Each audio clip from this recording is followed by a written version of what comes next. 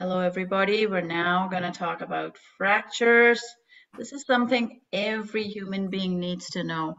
And Maria, you need to speak up with your experience because Maria has just nursed someone with one and can speak to the pain, what happens, the stages you go through when you have a fracture.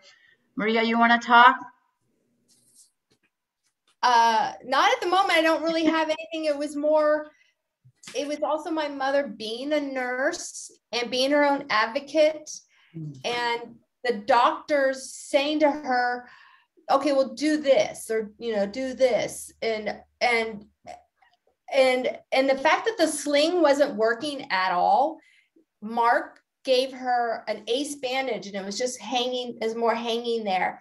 So i think um I think you have to go with your instincts and your comfort level with everything. And uh, and she just knew she didn't want to lose mo- motion, so mm-hmm. she, she was moving it whenever she could.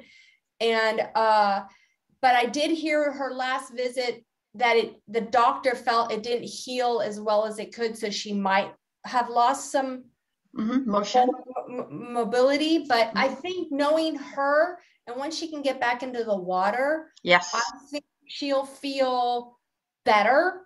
Um, but I think, yeah, so it's kind of like uh, sometimes her own knowledge mm-hmm. can mm-hmm. is a good and bad thing. It's like a double-edged yeah. sword.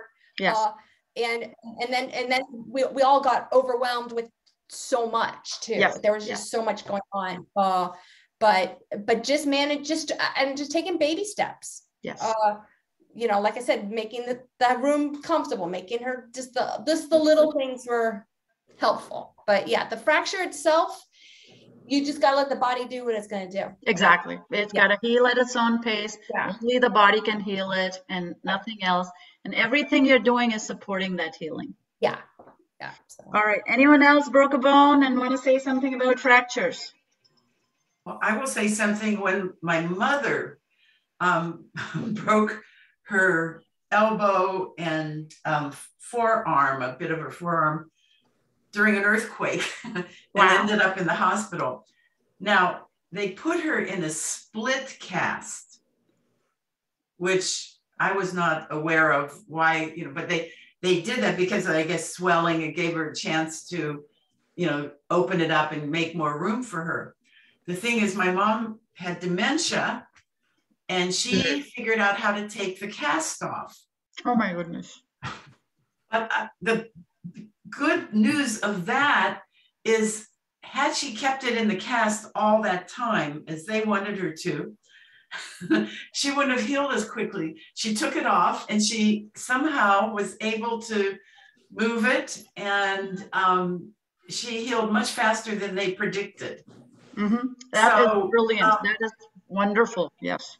Yeah. So here again, and I, I mean, even though she had dementia, she used her intuitive skills. Yes, and your body knows what the right thing to do is. Guys, when yes. put these polio patients in braces, they became lifelong cripples. Yeah. Everybody know about Sister Kenny, who treated polio very differently. She gave them physical therapy. After a month or two or two years, you could not tell these people had had polio. Mm-hmm. And so the old treatments for this, be still, don't move, are just terrible, terrible, terrible because your body has to guide you in the motion and the rest.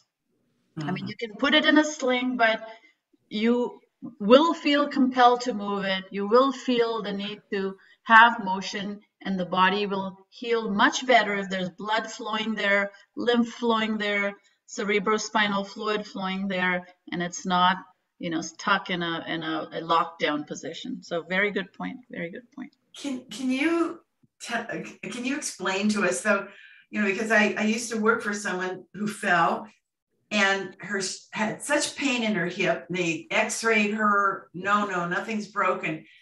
Third day they found a fracture, hairline type fracture. Mm-hmm. And um, then she had surgery and et cetera, et cetera. And for me, when I um, banged my hand against that book thing mm-hmm. and my hand went back more than 90 degrees, I did not want to go in and see somebody. I didn't feel that anything was broken, but here again, I wasn't sure. How can you, is there any way we can test, mm-hmm. you know, and be certain? And mm-hmm. I mean, it seems fine. And I've been doing the, you know, um, comfrey, the bone knit, mm-hmm. and just in case. Mm-hmm. And, you know, I can use my hand. It's just those three fingers that are mainly the mm-hmm. problem. At, yeah. Well, I'm not sure. Yeah. So, so a lot of it is your intuition. A lot of it is current circumstances and what you expect them to do in a hospital. Like if if it is crumpled, you know, your bone is crumpled, you will know. You know, oh, it's oh, yeah. all, all in pieces. You will know you have multiple fractures, and it needs the pieces need to be pulled out, like they're like shrapnel in your body. Or if it's a simple fracture, it just needs to be. You will know from the pain intuitively, and you need to have the courage to either do it, go to the hospital, or not go to the hospital. To me, that's the biggest thing. The purpose of our meetings, guys, is to give you the courage to say, I know it hurts like hell. I'm going to take arnica, 200C, 1M, whatever. And I think my bone is not broken into smithereens. Um, I, I can handle this. And I would say get an x-ray if if you feel that there's more that needs to be done but don't expect them to miraculously fix things for your fractures because pretty much your body only can do it yeah. and and so i would say intuition have courage bones routinely break and in this in this uh, thing session we're going to understand how fractures get healed how electric currents pass between your two broken bones and your red blood cells actually de-differentiate um, to form bone cells, osteoclasts and osteoblasts. They de-differentiate to form marrow cells. They de-differentiate to form your connective tissue, and you got to let your body do it. Mm-hmm. And the what will stimulate that is for you to have stability, but also some motion and all the foods that help you get that electric current through you and especially grounding yeah. Grounding grounding grounding. You might feel you might get the sense when you've broken your and i have not broken a bone but i think i would feel the need to ground as i did when i had the boring. I felt the need to ground because that, that was very healing. And that is because the earth is at 7.8 schumann hertz and literally you are picking up electrons from the ground and using those to heal your uh, tissue. Yeah, and I think it's a different type of pain you feel if it's broken. I mean, yes. I did not feel that sharp, whatever pain. Mm-hmm. But the thing that, how much longer does nerves take to heal? Then, like I know, yeah. Long time. Nerves take a long time, but it will heal. If you're eating, if you're drinking raw milk, if you're I getting am. enough cod liver oil into your body, uh-huh. and if you're getting sunshine and grounding, you will heal. You will heal. And your healing powers are, I've the, the quality of your extremities is beautiful. You know, your fingers, they, they'll heal very fast. Yeah. I have a story about uh, fractures. I think the only time in my life it happened, I was, I think, a preteen, and I really loved to play softball. And at two different times, they broke my little finger. Mm-hmm. And they, I went to the hospital not knowing any different mm-hmm. to do than that, and they put it in a cast. Mm-hmm. And then after a certain time, they took it off. And mm-hmm. I looked at it later and I said, well, it's not quite straight or it's not quite there. Mm-hmm. But later, because I really love to play the piano, my piano teacher would give me exercises because my for my hands, mm-hmm. which are fairly small compared to a lot of major piano players, but I could stretch further mm-hmm. than I would if if the fingers weren't at an angle slightly. I mean, it's not mm-hmm. significant, but a little bit. So I'm not sure if that's a benefit of breaking in and hey, it worked for you. You got stretchy fingers from the break. that's a good one. A um, universal gift. It's a gift. It's to think of it as a gift. Many people break their toes. Guys, when you break your toes, the hospital can't do anything take a popsicle stick and tie it to, or tie two toes together, tape them up, and you can create your home splints. Yeah. And what I find is you break it once, you break it twice. I mean, you hit it once, you lose sensation, and you hit it in the same spot again. Mm. and uh, and the uh, and you can revert, you can fix it right away. Um, last year I think was the year before. I broke my little toe coming out of the tub, and it hurt like it was at 90 degrees to my foot. So Ooh. I put it back in place.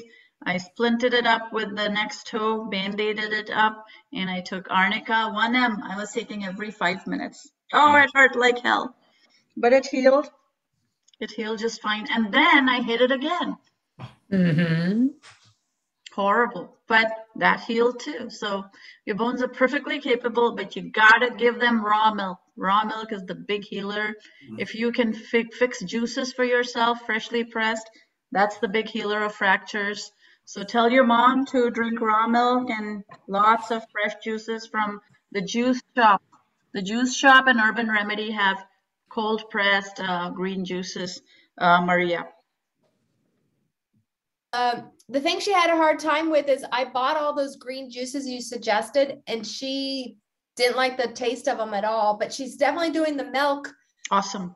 But but her other concern was her celiac, was her gut. Oh, was her, right, right. So, so it was such a that was the the double-edged sword. She like she wanted to do everything but then her body her tummy was literally like going i'm sorry i can't yeah, do this. no with her that, yeah. that was the tough part. It was like you're like oh yeah.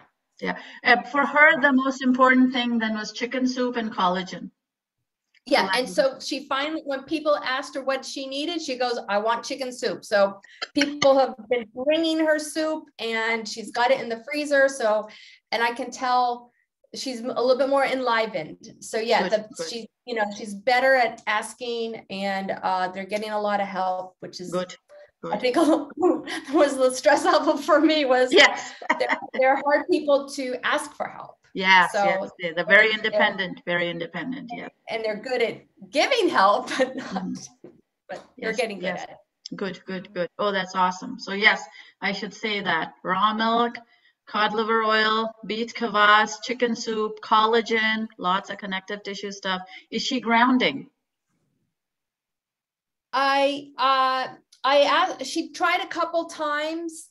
Now that I mean, you you normally have good weather there in California, so maybe I should plant that seed. She is back in the garden, so mm-hmm. at least if she, if she's not wearing gloves, then she's getting that. Some, yeah, she's getting. But um, maybe I can try to convince her to take her shoes off and put her feet in the yeah. grass. Put her chair near put her chair near the raised bed, take her shoes off and stick her plant her feet in the in the soil there. Yeah. Yeah. Oh yeah, there you go. Just put a chair up to the to the soil. Yeah, and just do it. And yeah. yeah. Okay, I'll suggest that. And you know, I, I mentioned this the last time, but I put on nice warm socks mm-hmm. that are natural fiber, and you can ground through them, and your feet don't get quite so cold. There you go. Perfect. So I've been running around looking for my phone, not wearing shoes. I just go into the stores because mm-hmm. I'm just grounding. I don't like shoes anymore. Yes. You know, I just love grounding. Yes, yes. And and the key is to know that whatever age you are, you're going to get better. Have the confidence, have the tenacity. Uh, don't quit. And your mom's not a quitter. One of the things I would say is please do not get any boosters. Um, I have seen so many. I have clients actually, elder uh, elders who have after their first shot, they started to get very dizzy, dizzy, dizzy, dizzy. They started having falls. Falls resulted in fractures. Fractures resulted in death. So it's a direct effect of a lot of these um, medications, jabs, shots. Avoid, avoid, avoid all of that forever afterwards. Mm-hmm. If if you have any kind of uh, dizziness, um, especially um, related to this, the Voldemort illness, the jabs, etc. Phosphorus is your remedy, guys. Phosphorus will make it better.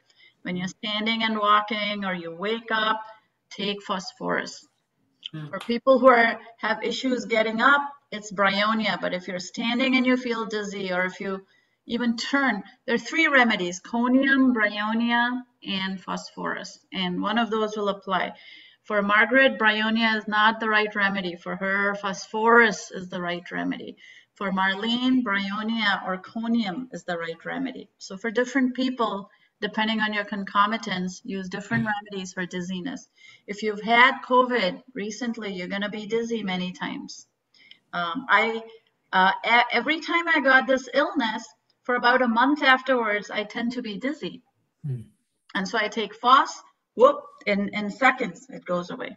So remember that fractures are connected to balance and loss or lack of balance, and you got to address that before you address the fracture and, and to ensure it doesn't happen again. So she needs to be on phosphorus from time to time, you know, like a 12C, low potency, water dose, couple times a day. It will affect the, it will heal the heart, it'll heal the vascular system, and it'll heal the dizziness. One of the things I've learned through some of my uh, Tai Chi Qigong teachers, it's actually in traditional Chinese medicine, the process of having the bones be hardened. And some of the, the effects, as it's described in the literature, is to have bones like iron. And I've had my teachers show me this demonstrate, actually with very big, strong people, that they couldn't be moved they couldn't be broken, they couldn't be hurt. So that's just something that I use as part of my reminder for practice that in addition to treating things like with homeopathy, there are some things about allowing the bones to be able to be denser and stronger. Yes, yes. And their nutrition. Mm. So now you were talking about different kinds of dizziness, because I remember last time you talked, if you turn your head quickly, mm-hmm. that's considered dizziness, not vertigo, right? Um, people will describe it in their own terminology. Some people will say, "Oh, I'm dizzy," or "I feel nauseous," and uh-huh. so listen carefully to their words. If they feel dizzy in bed while turning their heads, conium maculatum in potency is a wonderful remedy. Uh-huh. If they feel dizzy raising their head out of bed, raising, that's a bryonia typically, but mm-hmm. it could be interchangeable. If they're dizzy walking on the road at 10 o'clock in the morning, like I was, that's a phosphorus. If they're dizzy after an influenza illness like this one, very likely phosphorus will work for them. So when you say dizzy while walking, you mean you just don't feel your balance or something? Oh, yeah. I mean, I have never experienced dizziness until I got COVID. And after that, oh. for a month, I was dizzy. I had to hold on to Richard or Katie or whoever. Oh, okay. Yeah, yeah or I had to sit down. Yeah. Okay. I was afraid I would fall down. Yeah. And and guys, sit down. If you're in doubt, sit down. Mm-hmm. Please don't injure yourself. And so a lot of these are the underpinning of why fractures happen to prevent future fractures. You want to put padding around your bed. You want to make sure you're not dizzy. You want to make sure your heart is in good condition. You want to make sure you don't have thrombosis. And, and that's a different set of homeopathic remedies. And we'll talk about those. What's thrombosis?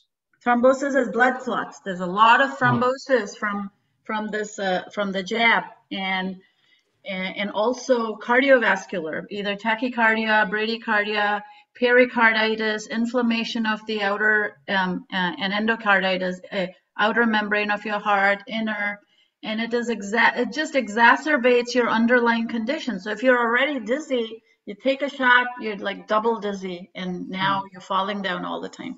So it is important to understand the etiology of why it is happening. Mm-hmm. And if you feel dizzy, be prepared. And that's the way to taking care of yourself. Be prepared. Don't stress. Don't don't worry about it. Don't give up. Don't panic. Remember that if it's happened once you need to be prepared in case it happens again. So you need all the remedies. You need to have say cayenne on hand if you have heart issues. If you have other issues you need to have dizziness. You need to have phosphorus on hand. And you have to be very objective and so in that sense margaret is very objective because she was a nurse and she knows which is could be good and bad because she knows. but it's a good thing to be observant, to be objective. And you have to be able to give everybody else good clamps. Your chief complaint, your concomitants, um, your location, where does it hurt, is for etiology, M is for modality. Is it better morning, night, spring, fall, in bed, outside bed, heat, cold? That's modality. P is what is peculiar to you. You might not think it's important, but in homeopathy, it's very important to remember your peculiar symptoms that may have nothing to do with a broken bone. That's mm. the P. Peculiar, queer, strange.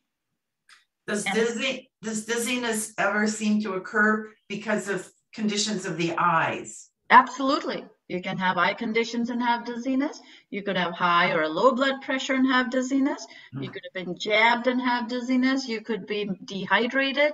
So etiology is super important. Like if you're dehydrated, just drink water, you know, or drink something with beet kvass, a wonderful way to get minerals and fluids into you. Yeah. And then the last thing is sensation. S is for sensation. So remember, guys, clamps. C L A M P S. You got to be lucid enough to give someone your clamps. And a acronym will help you remember. Like I have, I feel dizzy and the tip of my toe is tingling. That is a peculiar symptom. Tell it, tell it to someone because there's a remedy that's exactly fitting that. And finally, you have this thing called sensation, which is super important because it informs a homeopath of your or yourself of your general condition. I feel a sense of great anxiety. I feel like I'm dying. I feel like I want to die. I feel like life is not worth living. I feel very depressed. There are different remedies for these different sensations. I feel like there's an all gone feeling in my stomach or my heart. That's a sensation. So, you know, Sunshine always talks about communications, communication skills. You mm. gotta have those. Mm. Be try and describe it in this form and in very clear terms to somebody like me, for instance, so that I can repertorize you properly and I'm not missing half the symptoms. Because if I'm missing half the symptoms, you panic, I panic, and I'm going to give you a general remedy. And that may not be the very perfect thing. Mm. But mainly, don't worry about it. yes. Yeah, you've broken your bone, your shoulder is hanging off your joint, your ball and socket joint. Uh, let the pain wash through you. At a certain point, endorphin rushes will keep you from getting the pain. But even if it's very painful, remember that with humans, um, well, let me go back to animals. With animals, pain is pain.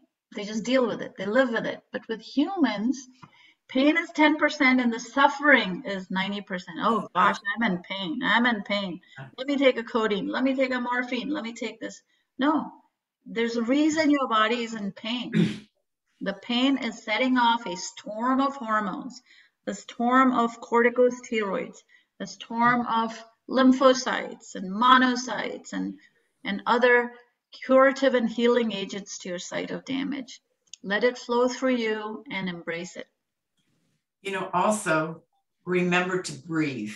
Yeah. As soon as there is something like that, an injury or whatever, I mean, that's what helped me. It's like I just sat down and I started to breathe and I said, now what do I want to do? And mm-hmm. cold, and then my arnica, and you know, so taking that breath mm-hmm. takes away a big amount of the fear and stress and so on. Very good idea. Let's go around the room and see what others have done when they're in a moment of shock to help themselves. Uh, land, ideas? Um, I'm going to pass for now. I want to think okay. about that. That's a pretty okay. big one. All right. Alfonso, ideas? Uh, no, I have no ideas. I haven't uh, really haven't broken any bones or anything or pain. Mm-hmm. Had shock, had shock. Um, yeah. Anyone else? Anyone else got any ideas? Hi, this is Claudia. Um, I've been around people who I saw were going into shock.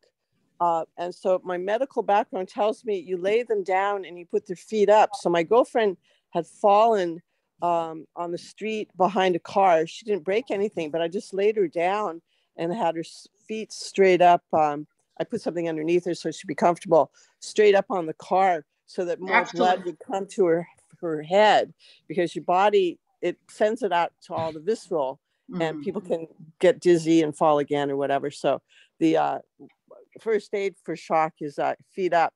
Feet up. Yeah. Lay down, lay down so you can't fall any further. Excellent idea. All right.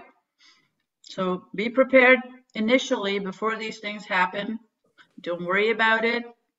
Don't give up. Don't panic when you're in pain. Don't think, oh my God, COVID, hospitals are shut down. What's going to happen to me?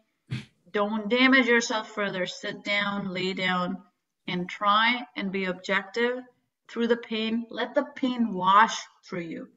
And for anyone who's had period cramps, there's a way to deal with your cramps without Midol and Motrin. You let them wash through you, and you'll find that they get better. One little point if you do break something and you still can walk, but you think that you need to get 911 over. Um, because I, I had that, I didn't break, I've never broken a bone, but my throat closed completely on me. Oh my goodness. Mm-hmm. APIS, APIS. You need to keep APIS. Why? This was years ago. Mm-hmm. And I sat down next to a phone, and because I used to teach breathing classes, I just sat next to the phone. I said, if I can get any air in, I'm not going to call 911. And I got like a thread and then two threads and and I realized I was not it was not the day I was going to die. and really I, that's what I thought at first, you know, mm. could this be my last day on earth? And when I allowed my breath to come in and come back, I did call the hospital and I told them what happened. And they said, next time if you ever call 911, unlock your door. Ah, never thought of that. Something, it's something I did not think about. Mm. They, they, they, and because it was not in my home, they would have had to have broken the door down wow. to come into me. And it slows it down and everything. So if you have an accident, if for any chance you have to call 911 and you can get to your door, unlock it. Wow, what a good idea. What a good idea. Yeah and attitude you guys attitude is everything. Yeah. Um all right. So um, i i want to add one thing which i was thinking about because that's a really really good question. And i don't know that i've had shocked any significant amount in my life but i think a couple of times partial. And i realized part of what helped me in addition to the breathing is being present with whatever is happening in addition to my legs or lying down or whatever it is, but it's being totally, totally present with whatever is happening and not thinking or worrying about other things outside or around it. What will they say? Or what I have to call someone or something like that. Mm. That has to do, I think, with me for the fear of death. And it's allowing me to remember that death is quite natural and there doesn't have to be any fear with it. So if I'm totally present with what it is happening, it helps a considerable amount with me, and it did. That's a very good way of putting it. Be with it, and it'll lessen the impact of it. Mm. Be with it. And, and understand and assume and know that what your body is doing is the appropriate response. Mm. And the second you do that, your body gets empowered. I have had moments of shock. Um, when my mom passed, actually, big moment of shock. Um, and it, it's like the blood rushed from my head to my feet. I remember sitting down, and then everything else is a blur. I had another moment when a really bad boss screamed at me, and I, for the first time in my life, I felt what it was like to have cotton wool in your mouth. And so these are moments of shock. Or if you're in an accident, you know, all of a sudden you're down there with broken bones. Um, anyone else got any ideas? One of the things that just comes to me, it's about the same thing that I said earlier, but I've heard major, good, well-known athletes talk about when they're playing in their at their level, everyone else seems to be going slower. Mm-hmm. and they're able to move faster without any effort whatsoever. And to me, that's part of the idea of being totally, totally present, but not being affected by the things that are outside you. Right, right, right. The minute you're affected, it's taking up energy. Your precious yeah. energy needs to be allocated to what's going on. Good point, good point. All righty. Does everyone have a kit? We're going to go around the room and make sure everyone has aconitum. Yes? Yes. Yes, yes. Arnica, yes. Yes. Yes. Symphytum, yes. Yes. Rhus tox, belladonna, arsenicum. Yes. If you get dizziness, phosphorus, conium, bryonia, you need all these things, guys. Yes, yes, Uh, yes. Turmeric, cayenne. If you have heart ailments, you gotta have heart drugs, arnica, crataegus. Uh, so underlying conditions are very important. If you have celiac, Merc and Ipecac are a wonderful combination to treat celiac disease. So things you can do to shore yourself up, you gotta have on hand. All right, get it organized. Um, the other thing you want to do, especially if you have family members or dogs or cats or little children, write it down because you know and I know we're going to forget. And I think I'm going to remember everything all my life. Next day, it's out, out of my mind. Write it down, create a folder for each family member, each pet, and just just say, I used belladonna and it worked, or or it didn't work at all. So once you write things down, you will have it because you notice the same thing happens to people over and over again. For one child, this remedy works. For the other child, gelsemium might work. For the third child, belladonna might work. So, and for my dog, same thing. Certain things like Ignatia really works for Travis. He gets very nervous, excited, and anxious. Phosphorus works for him when there's thunderstorms. Um, Thuja and causticum work for warts. So these are the things that work for your family members. Write it down. Write down the dates.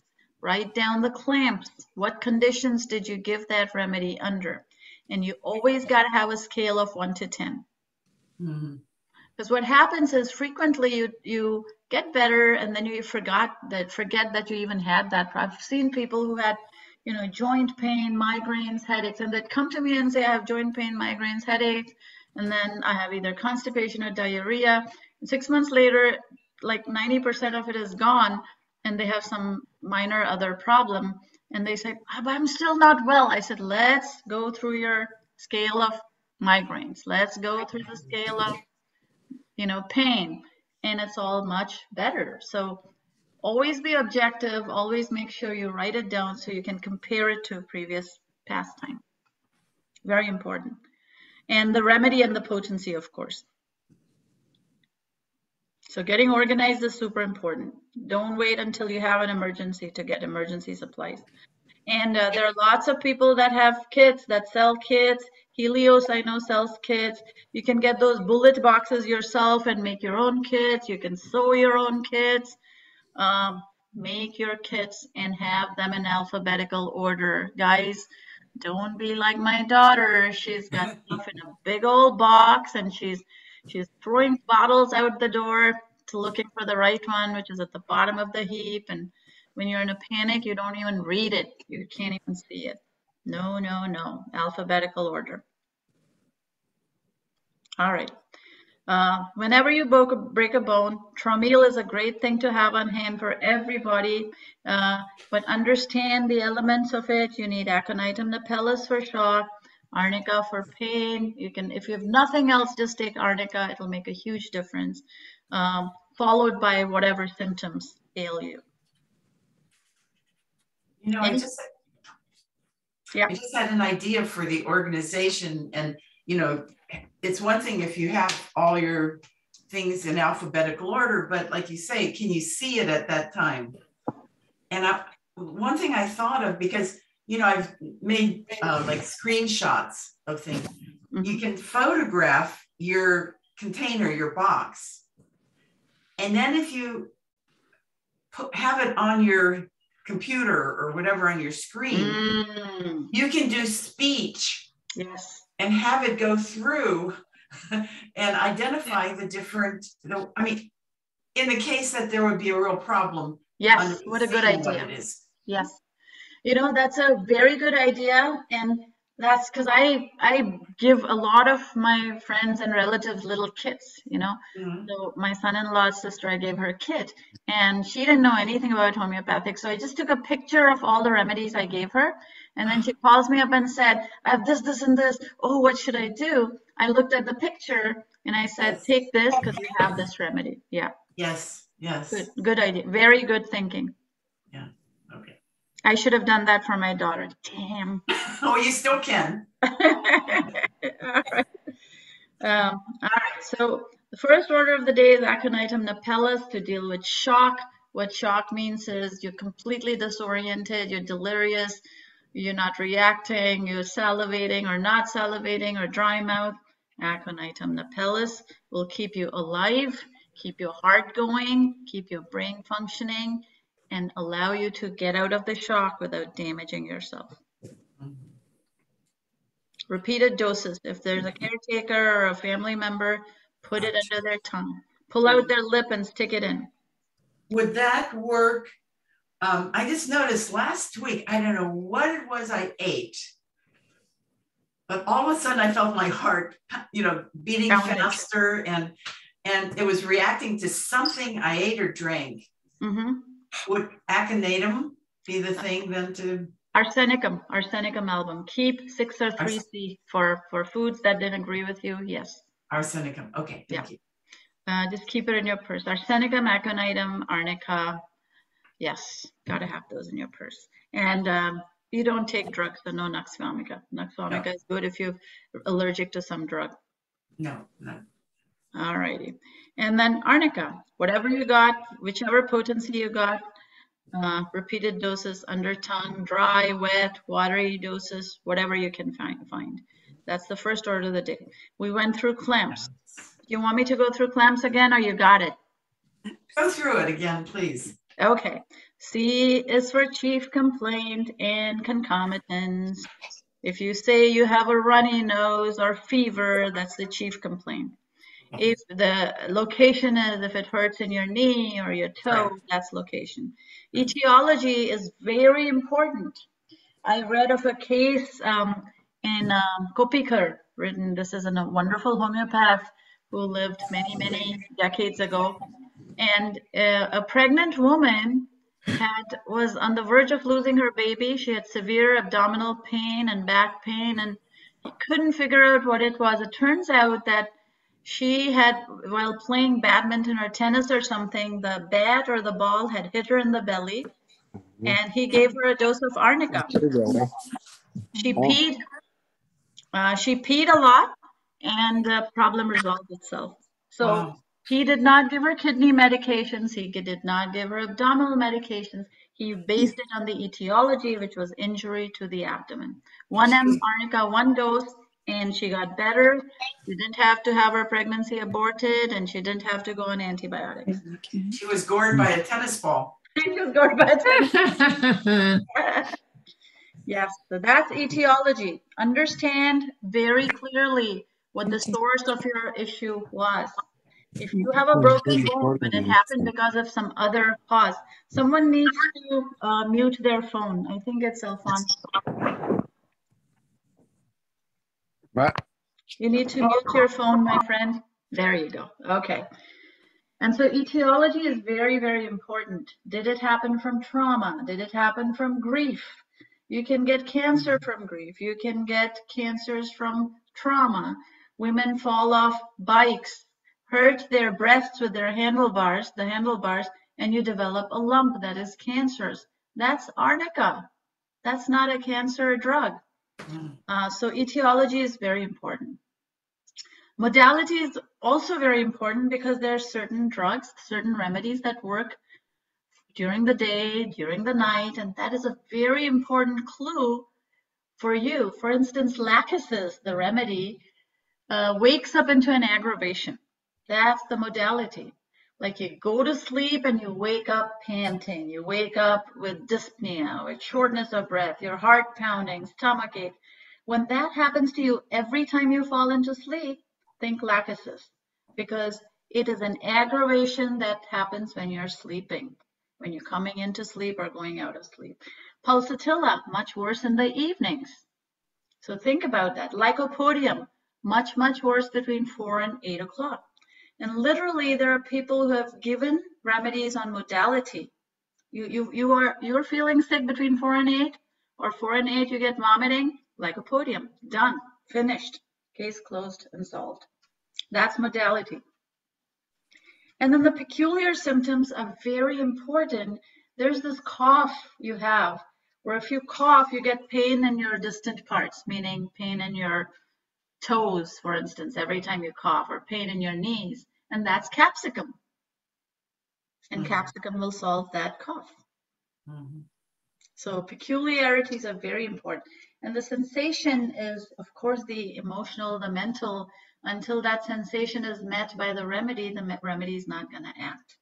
And all of this seems like a bunch of different problems and awfully difficult, but it's not. If you learn, you know, 10 to 15 remedies or 50 remedies or even 100 remedies, you can pretty much treat everything in your life. You mm-hmm. never have to see the inside of a hospital or doctor. You're good. Thank you. That's great. Yeah. Uh, we have our Roxy. Remember, Roxy had her tumor. 2018 it was tiny 19 it was a little bigger 20 it's a little bigger. 21 a little bigger. 22 a little bigger. Tumor in her mouth. She's surviving you know? No I, I give her remedies for her presenting conditions and complaints. We're not taking her in for surgery and getting half her jaw lopped off. And she would have died like within two months if i had done that to her. So she's now 15 and a half. Uh, she'll end up probably dying at around 16, which in dog years is what, 112 years? Uh, and this is a dog who was severely mistreated in rescues, vaccinated up to her eyeballs, given antifungals, antibiotics, tick medicine, tick collars, heartworm medicine until she was um, uh, 11 years old. How long? 18, 19, 20, 21, 22, 4. Yeah, 12 years old, 11, 12 years old. So it's possible with the right environment and homeopathics to even take very distressingly poor um, cases and have them have a good quality of life. She goes for walks. She poops very well every day she huddles in her room and sleeps a lot, but that's what you do when you're, you know, 105 years old. I have a question that I've asked before, and I think I see my mind still intruding into my acceptance. I realized that if I paid attention to all the little symptoms, I'm calling little, but all the things that are happening to me on a daily basis, I would be using homeopathy for a long for many, many hours or many, many, what do I want to say, often. Mm-hmm. So I'm wondering um, how much am I kind of leaning toward using homeopathy to solve everything for me rather than just allowing me to relax or do some other things where they're not as much bothersome, except when there's something I consider more serious. Do you I get see. the t- Timra what I'm saying? Yes, I hear you. Uh, 95% of your problems are lifestyle. I would say 5% is homeopathy. Hmm. If you feel down, the first order of the day is to take a cold shower, go for a walk in the sun. If that doesn't help you, then go to Ignatia or, or Metallicum or what have you. Hmm. Uh, but generally speaking, your bodies and all you folks on this call are are living true to your bodies, living true to nature. Your bodies have not been sullied with a whole bunch of foreign agents. And so for you, there are very few obstacles to cure, except things that are long gone by and things you can't, like if you have a broken bone that never got healed, never got healed. But, uh, but by and large, healing should be by food, by environment, by grounding, by sunshine and sleep. Right. It is only when you have, and there is this thing I, I must admit i have suffered from it too i and i have these guinea pigs around me travis and roxy and richard and seema and katie and kai and anna and i would look at them and say oh, need that and you need that and you know what my family does 90% of the time they ignore it they get better on their own. It's the 10% when they're really sick. they will take, they will say, okay, tell me what it was, and I'll take it. and so there's such a thing as too much clamping. Yeah. Yeah. That's a very good point. But the more you do, the better practice you have. I would encourage you to do it all the time. Because it's also making you observant. It's getting you out of yourself, out of your own zone, and looking at you from the outside, which is a very good way to look at yourself. And the thing I've said before about look, looking at yourself, if you notice that there's an issue, can you transform your thoughts to picture yourself healed Absolutely. Absolutely. instead of getting worse or, Yeah, you know, Yeah, whatever? That's exactly what your body is capable of doing. Yeah. Listen, no homeopath, no doctor, no surgeon can fix the things that your body innately and mysteriously can. Yeah. You know, I had an interesting experience. My daughter sent me a picture of a place that she was visiting in Spain. And it's on the coast. You see the coastline, and you see these tall apartment buildings that are built one right next to the other in a row. They look like teeth. Mm-hmm. You know, they're tall. Mm-hmm. I wanted to see it better, so I enlarged the picture so I could see what they look like. I really got nauseous looking Oh. at them. Oh, And and I I wrote to her, I said, you know, that made me nauseous. And I don't think I could ever live in that type of setup. Mhm. And then she wrote back, me neither. but but it was interesting that something we look at can have such a strong effect on us too. Mhm. You know? So true. So true. Yeah. And and we need to heed that. We need to pay respect that. yeah. So with fractures, you have this balance between motion and stability, and only the person knows. Only Margaret knows. Only I knew with my toe how much to move it and how much to rest it. Mhm. And and you got to honor that. Alrighty. Okay, figure out the damage.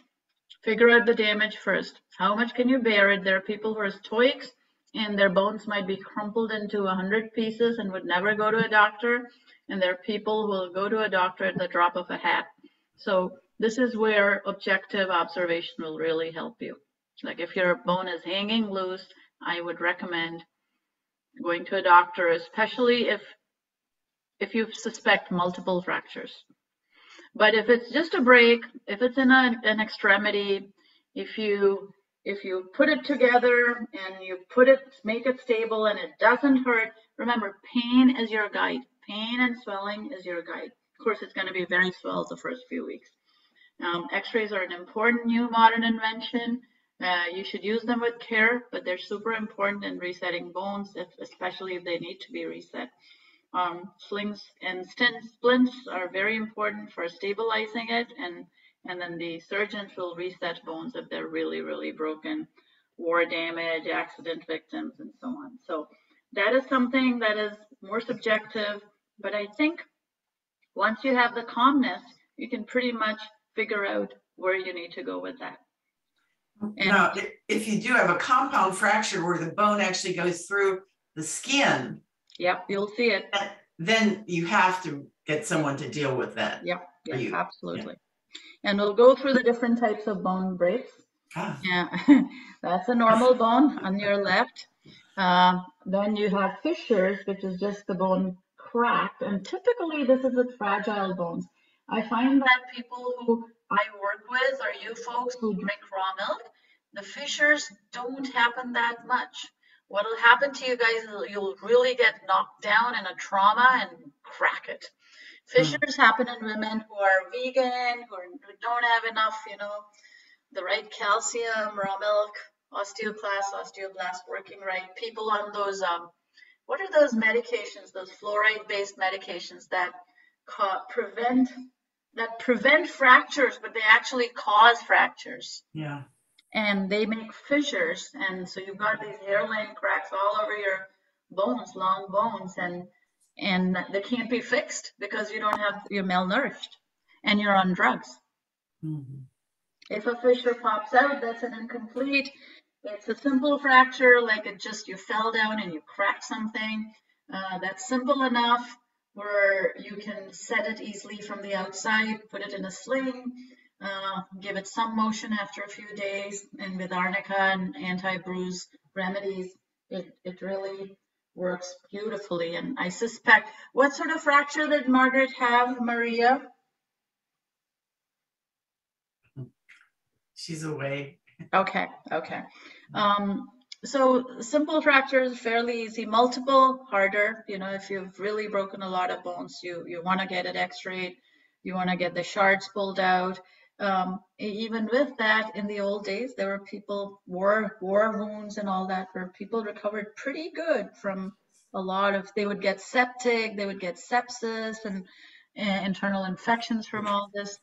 And uh, then there's complicated fractures where, like you said, the bone pops out and it really has to be reset by a doctor or compound fractures. Uh, so there's it's a range. It's a range. And if you didn't have a big trauma, if your diet is good, chances are you're going to be somewhere between a simple and a simple, really simple, a little crack, a little crack. All right.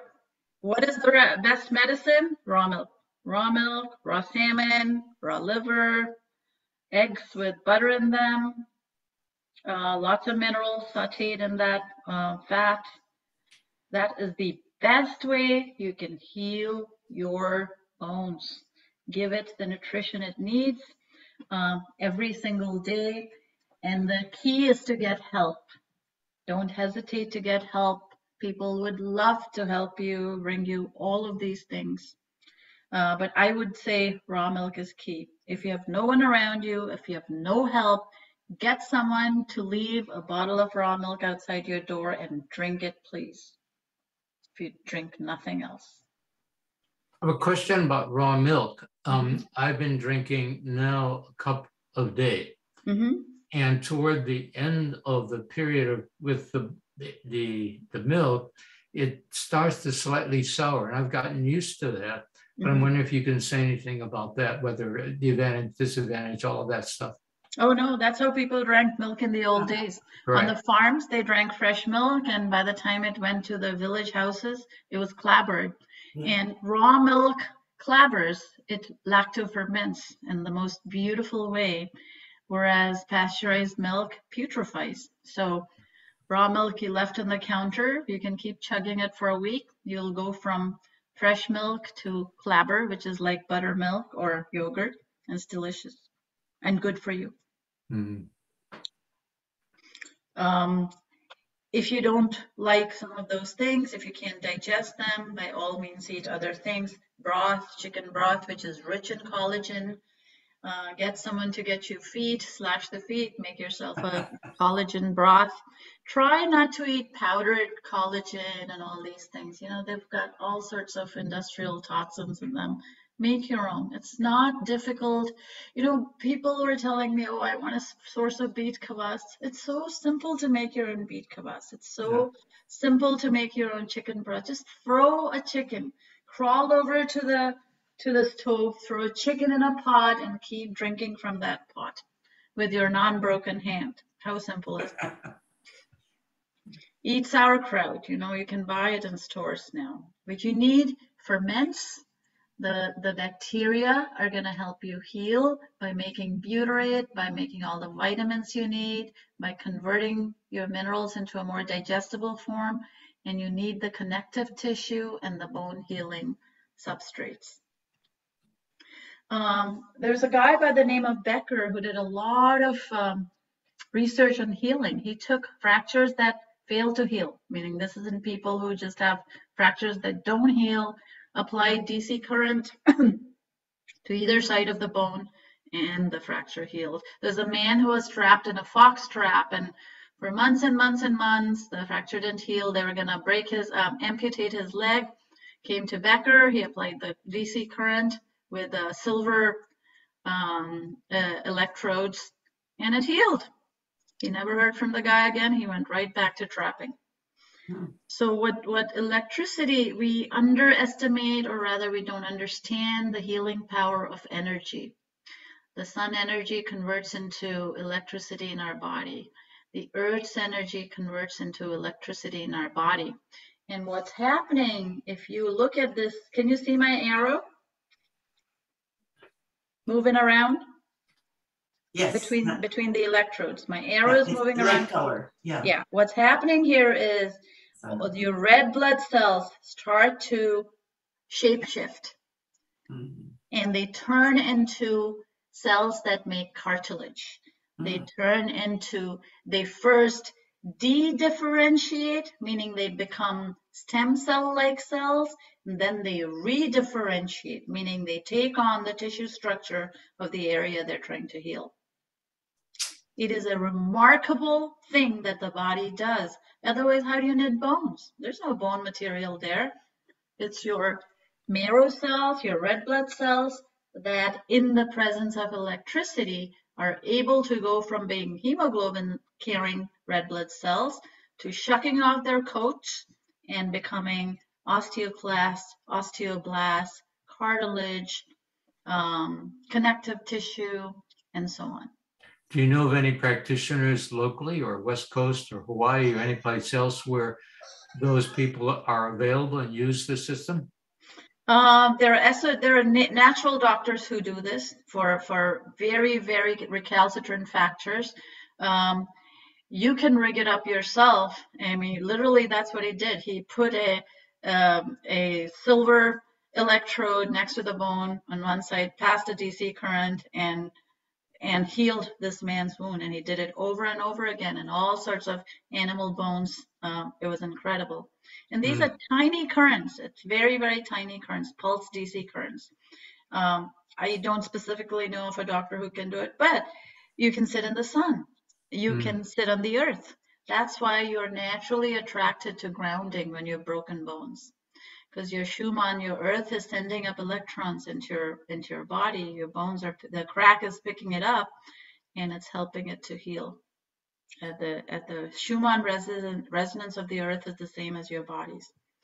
So this is really how fractures heal. Fractures don't heal by eating those fluoride laden pills. They don't heal by putting it in a sling forever. They don't, the body is healing it. And what the homeopathics are doing is symphytum is helping to create that electric current. In homeopathic doses, symphy, which is comfrey really, it is helping to your bone to literally knit by creating uh, the pulsed electricity with the minerals, with with the dynamic properties it has, and so on. Does, does that activity, for instance, of sitting in the sun or grounding, have the same or more powerful effect than, say, taking like bone knit as an herb um, to do some of the same process? Uh, take everything. Take the herb, sit in the sun, help the sustenance, the minerals in your body to actually become charged, charged so that they can do their job. Mm. Uh, cold pressed juices have a lot of potassium in, in them, so the ion exchange carries on, so that so that you have easy water, what what what uh, Gerald Pollack calls easy water. So your cells are structured, your tissues are structured, you have ample electricity coursing, which is why it's very important not to have scar tissue in your body, because through your meridians the electricity flows. Mm. And the more you get it at that site, the faster you'll heal without scarring. The idea is to let go of the idea of a magic pill. Yeah, yeah. Do it all. Yep, yeah. There's no magic pill. If you take chemicals to fix it, I guarantee you it will not work at heal as well as it did on its own. And uh, the homeopathic remedies are based again on similia, on the right simillimum, uh, the minimum dose, um, uh, not goosing it up with antibiotics and steroids and this and that. There are homeopathics for everything from bruising to pain to infection. And you're gonna get a speedy cure like my belly, you know, it's it was a you know in 12, 13 days it was completely healed. I was going around gardening and using the wheelbarrow again. and now I have this little uh, egg, and over time the egg will disappear. And I feel because I took those remedies, I didn't get a hole in my stomach, a hernia, which would have to be patched up with surgery. So the cure is speedy. It is at a pace where the body can regenerate those tissues. It is gentle. Mainly, there's no side effects because it's the side effects that kill us, guys. It's not the effects of that drug. It's the side effects that are the killer. And there's no complications. And, and the thing to remember here is it's stimulating your life force. Um, that's what it's doing to help heal. Um, so for fractures, I would say for the trauma, you take aconite, trauma, shock, fear, arnica for the injuries and bruises. If you fall down and hit your head, please take belladonna or glucosamine is wonderful too. If you were in the hot sun, your head hit the pavement, take glucosamine. Prevent concussion, prevent breaks. Um, if you have tendon and ligament damage, Ruta 6 Calphos 3X is a wonderful combination.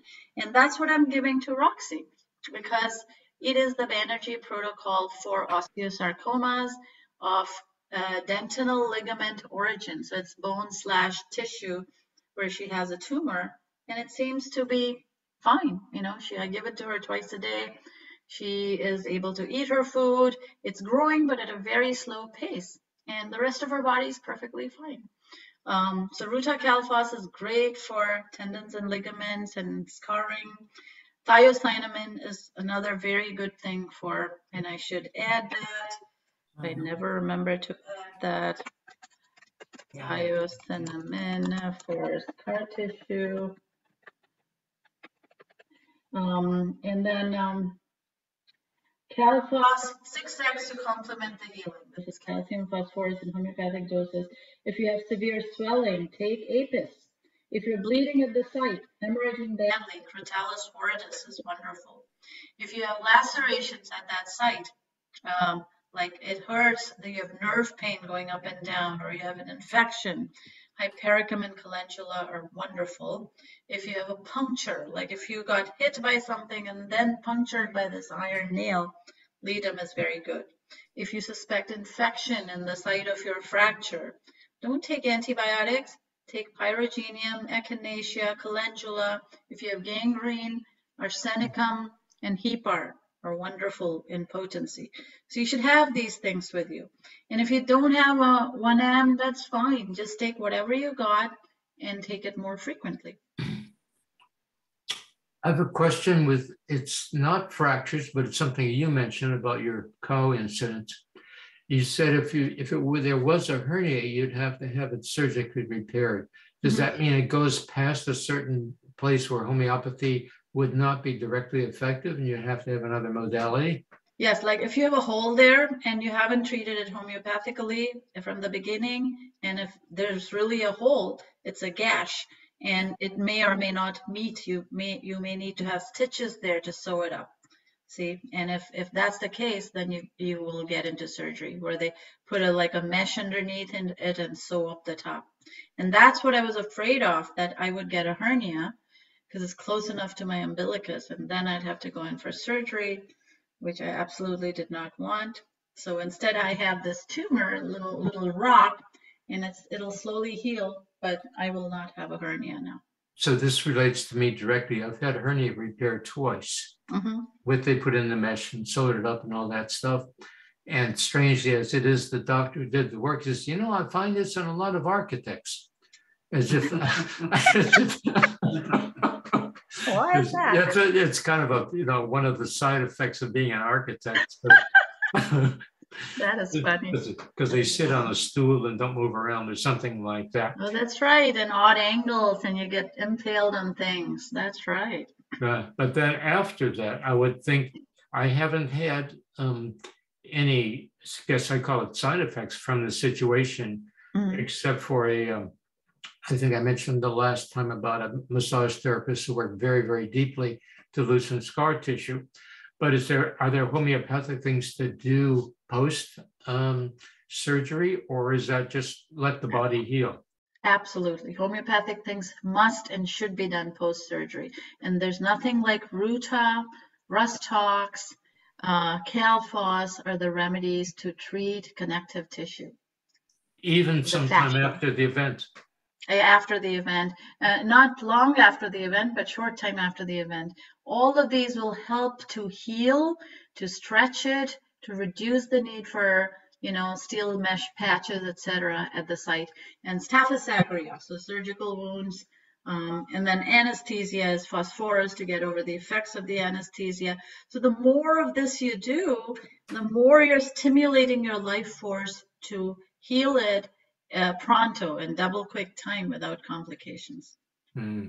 But I would focus on food as well. You know, chicken soup and raw milk uh, Mhm. can't go wrong. Great. Um, if you have gangrene, you know, people get infection and sepsis, lachesis and arsenicum are excellent, excellent remedies. Uh, some people get fevers after they've broken bones, um, concussion, memory loss, sprains, strains. Uh, for these, phosphorus, arsenicum, kalicarb, nat sulfa is great for concussions. Uh, Rhus tox, you might have cardiac. And then again, you look at the etiology. Why did this happen? Was I dehydrated? Do I have kidney disease? Do I have liver disease? Do I have heart disease? And address the underlying condition. Address the underlying condition so it doesn't repeat, because I guarantee you it will repeat if that's not addressed. How long do you take it? You take it until you feel better. This is not an antibiotic. This is not a supplement. You're observing your body and your symptoms, and you keep taking it until you're much, much better. And, you know, I'm a little bit scatty, so I don't always take it, you know, three a day or four a day. Uh, but do what you can. Do what you can, and your body will be a guide to taking it. And what I wanted you guys to and you're already there, you know, and take it intuitively. Homeopathy is medicine you can take with intuition. Oh, I, I feel this. I feel a burning from the underside of my little egg. What is that? That's a wound on the bottom. What is the wound treatment that covers many layers of your skin? Staphylococcus aureus. Eat Staphylococcus aureus, instant results, instantly better. Um, and once you know these little artifacts, you can apply them much more intuitively without consulting materia medica. And you'll you'll find you'll be successful. But at the very least, arnica aconitum symphytum, please. And for for afterwards, you know, to deal with the swelling and so on, the appropriate remedies. Questions? Um, uh, all right, no questions. I have Um, a com, have a comment of one thing that I've seen with other people who've broken bones is they move, can I say this, more quickly than the situation calls for.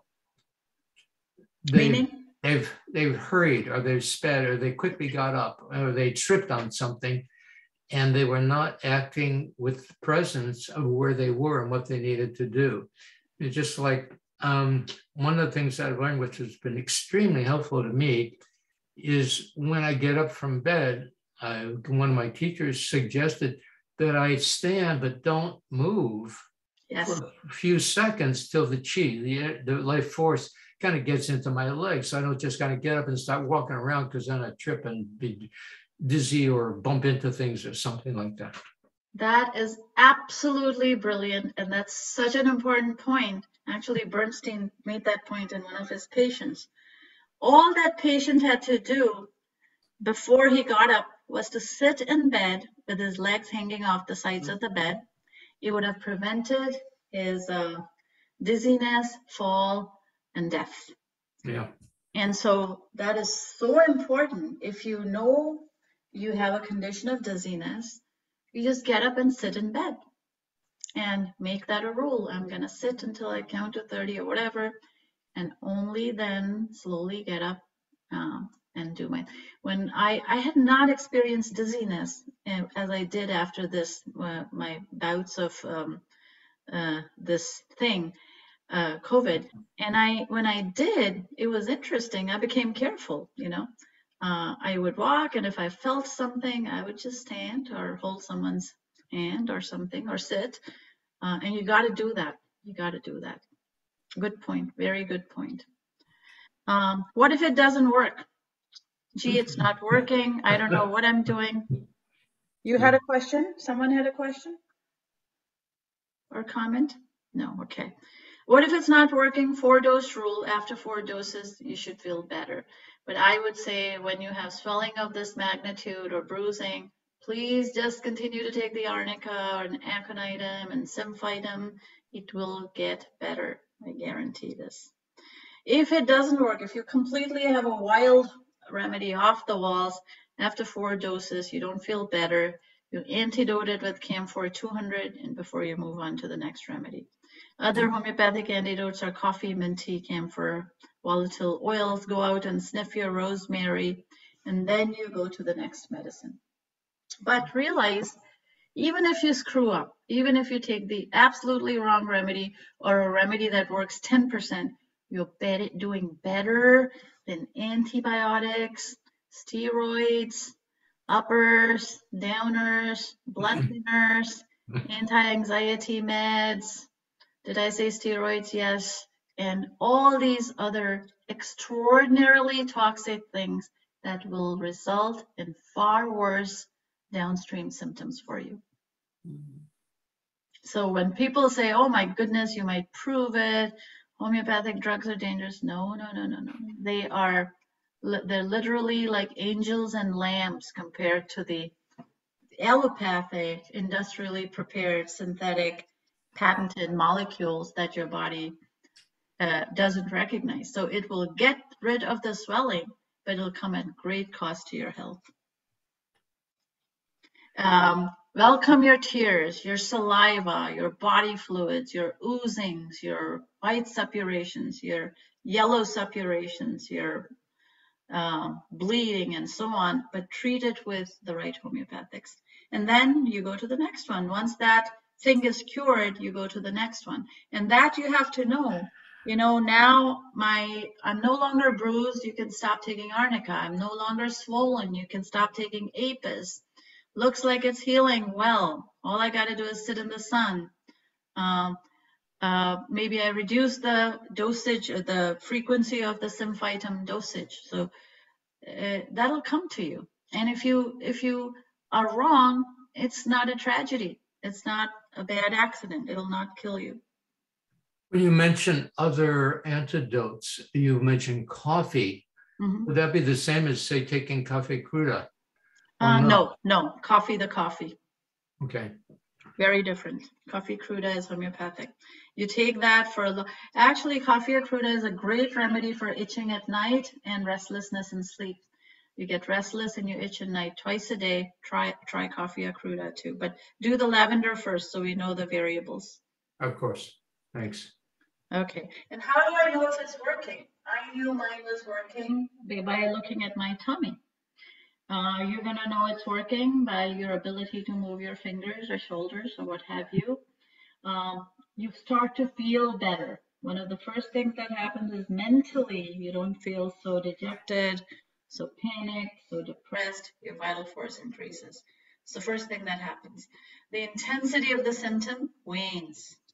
The duration, it was coming every two minutes, now it's every five minutes. So that's an objective way to know. You can't just say, oh, I took this medicine and now the pain is still there. No, no, no, no, no. You got to observe it objectively. Uh, after uh, every how many minutes is the is the throb happening and what is it on a scale of 1 to 10 it was unbearable then is it less more bearable now it means it's better uh, and you got to be patient and observe acutely so the, the reason I'm saying that is this is a very different way of looking at this. We are very Western. We want pronto, pronto results. You know, in I was in India and people were saying, uh, someone told them, oh, I use homeopathy. And they said, oh, yeah, I love homeopathy. Anytime I get sick, I take a crocin first, which is paracetamol. Then I take homeopathy. Then I take. and then I get really well. And I'm going, no, you're just going to get sicker again faster.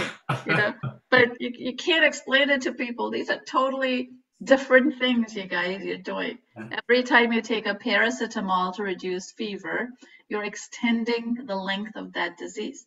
Then you take a homeopathic medicine to stimulate your body.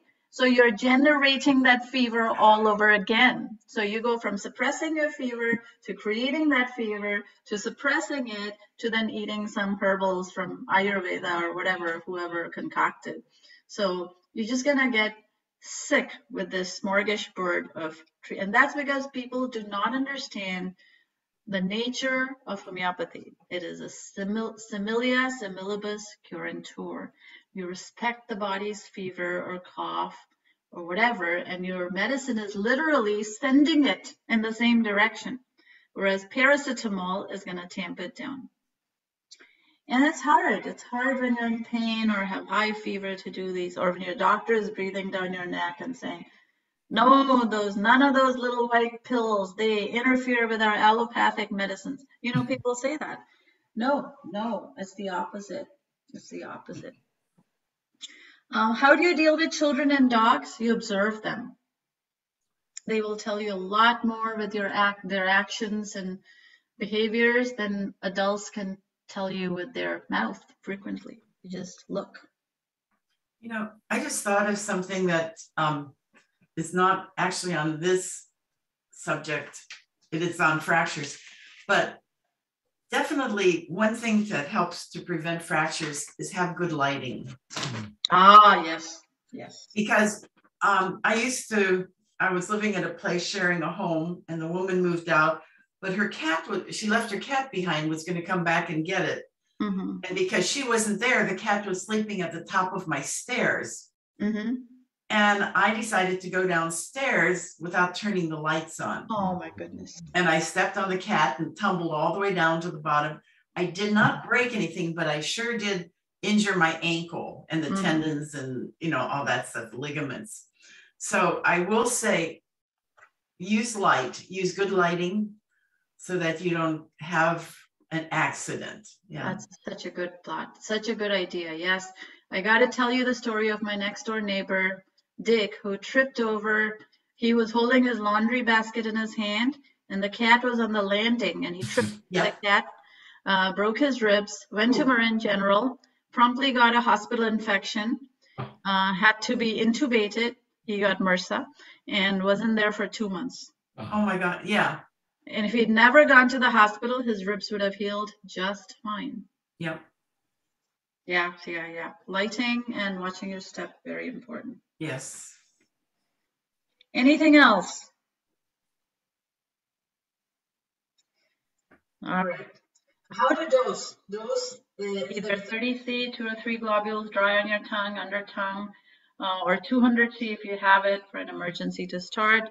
You place a pellet or two under the tongue or pellets in water, stir vigorously, take a teaspoon every couple of hours as needed and you reduce the frequency of dosing when relief begins. Please label your jars because you'll have five jars and you will not know what's what. Or you can just rotate and then you don't have to wait. In the question. Yeah. Uh, I previously had where I woke up and my heart was pounding. Mm-hmm. And what I do is try and take a deep breath to lower it. What causes that? Um, that is uh, adrenaline. If especially if it is towards morning like two or three. Exactly. Yeah your body's preparing to get up um, and you don't have enough blood sugar in your body. So your liver uh, your cortisol is released from your adrenals and it tells your liver to convert the glycogen into glucose and you get thumping heart. The way to deal with that is to eat some carbs at night